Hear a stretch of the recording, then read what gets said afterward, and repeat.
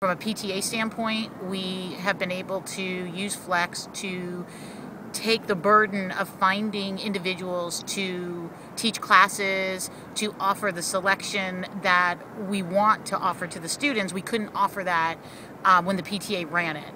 And Flex is much more reliable. They have the expertise, and they can bring to us a full range of offerings that when the PTA runs it, you just can't afford to find the number of people and offer those kinds of classes.